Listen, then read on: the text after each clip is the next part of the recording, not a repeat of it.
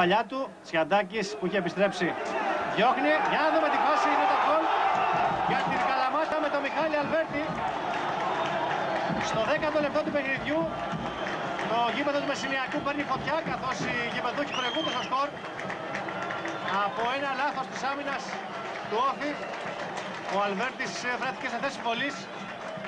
Από κοντινή απόσταση κατάφερε να νικήσει τον Χανιοδάκη και μέσα σε έξαρους πανηγυρισμούς να γράψει το 1-0. Λάθος από τον Σκέτζο. Χάγκαν. Δυνατό σουτ. Μόλις out από το δεξί το χάρι του Κώστα Χανιουδάκη. Και ακόμα μια καλή στιγμή για την Καλαμάτα. Μπούλεν η κεφαλιά. Διώχνει με διπλή προσπάθεια ο Χανιουδάκης. Χάγκαν σε καλή θέση το σουτ. Ε, κόρνερ ο Χανιουδάκης. Τσιαντάκης παίρνει φόρα. Εφάλτσο η μπάλα.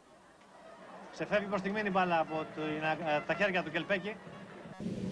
Όλα αυτά σίγουρα μετράνε σε, στην πορεία μιας